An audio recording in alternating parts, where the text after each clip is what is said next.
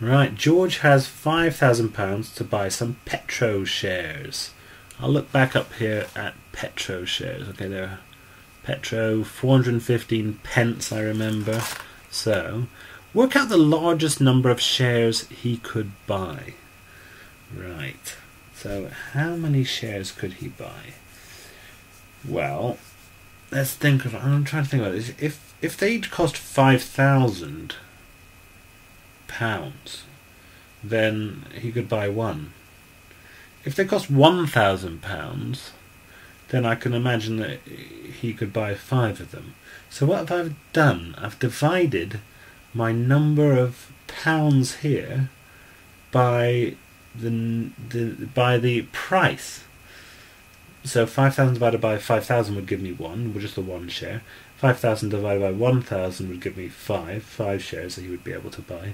So that's what I need to do. I need to divide my number of pounds that George has by the price. So I've got £5,000 and I want to divide that by the price. And the price is 415, but 415 pence.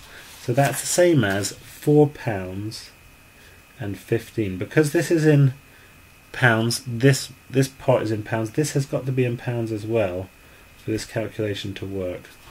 So I'm going to do 4,000, sorry, 5,000 divided by £4.15. And that gives me, again I'm going to convert it to a decimal, 1204.81. 1204.81. Now, what is the largest number of shares that he could buy? Do I round this up? 1205.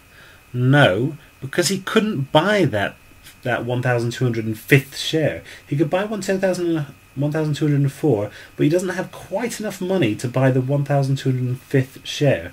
So and my answer is that he could buy 1204 shares in total with that £5,000. And that's question 6b for three marks.